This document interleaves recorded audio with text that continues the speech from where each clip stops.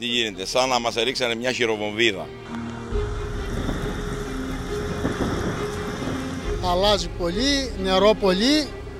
Ευτυχώς τώρα και έχει κόψει λίγο, αλλιώς θα μας πάρει όπως είμαστε, μας πάει στην παραλία.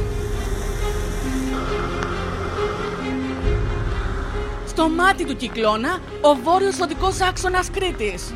Ήταν σε μέγεθος ε, στραγαλιού. Ήταν πιο στραγαλιού, πιο χοντρό. Το έστρωσε. Χοντρό. Το έστρωσε, το έστρωσε. Εικόνες που κόβουν την ανάσα στην εθνική οδό από Ρέθινο προ Ηράκλειο. Τι να πω. Αυτά εξαρτούνται από άλλον. Δεν έχω ξαναδεί ποτέ στον δρόμο.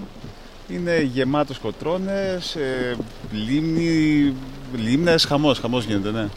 Υπάρχει κίνδυνος, το βλέπετε. Υπάρχει κίνδυνος, σαφώς πρέπει να πηγαίνει κανείς πολύ πολύ σιγά.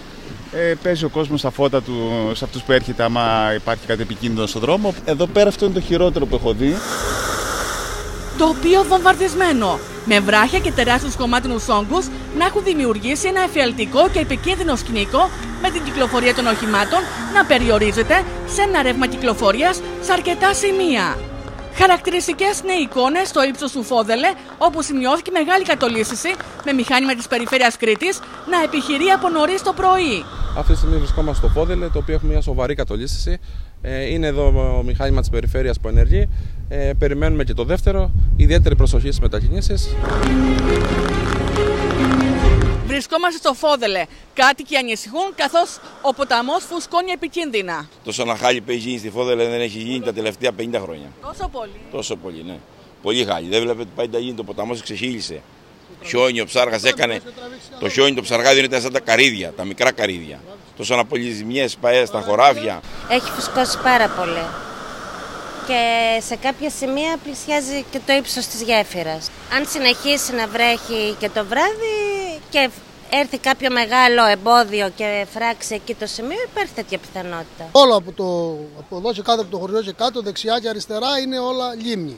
Κατολιστή, χαλάζει. Έχει κατεβάσει πάρα πολύ νερό γιατί κατεβαίνει από το Μάραθο, κατεβαίνουν πάρα πολλά αριάκια και σωρεύονται όλα εδώ κάτω, γι' αυτό έχει πάρα πολύ. Έχει υπερχιλήσει ο ποταμός; Έχει ξεχυλήσει. Σε ποιο σημείο; Ε, σε κάποια σημεία από εδώ να πάει κάτω έχει ξεχυλήσει, έχει πάει σε κάποιες καλλιέργειες.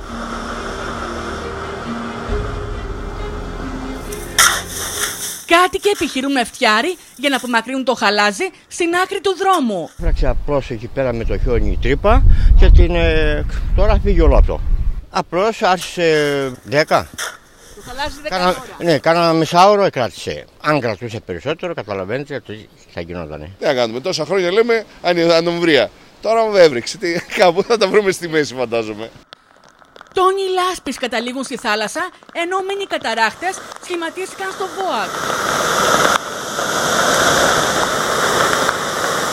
Οι ώρες κυλούν εφιαλτικά για όσοι κινούνται επί της Εθνικής Οδού και με τους οδηγούς να κάνουν το σταυρό τους μπροστά στις πρωτόγνωρες αυτές εικόνες.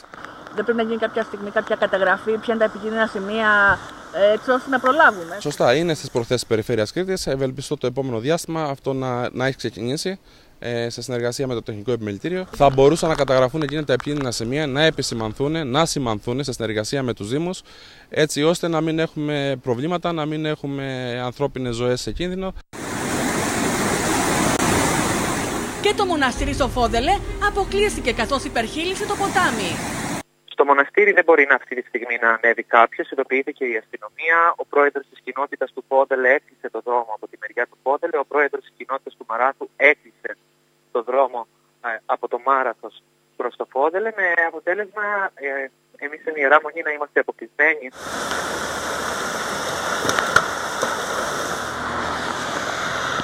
Ορατές και αόρατες παγίδες με μέσα και προσωπικό να βρίσκονται επί ποδός.